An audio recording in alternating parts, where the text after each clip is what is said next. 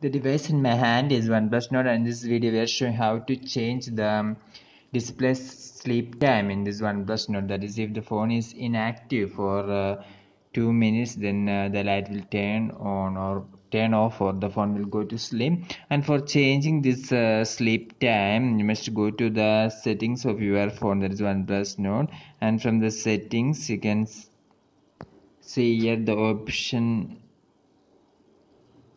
display. And in this display section you can see here it is clearly written sleep. And you must uh, see here after two minutes of inactivity this phone will go to sleep. And you must click here and from here you can uh, change the time. That is you want 15 second 30 second 1 minute 2 minute 5 minutes 10 minutes or 30 minutes etc so i'm now going to change the sleep time to 15 seconds now like this. Now we can wait for 15 seconds can see the time is running.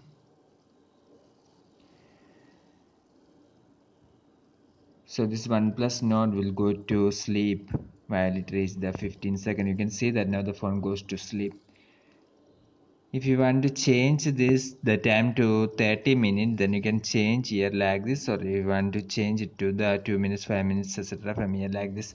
Hope you understood how to change the sleep time in OnePlus Nord. For more videos like this subscribe engineers online. Thank you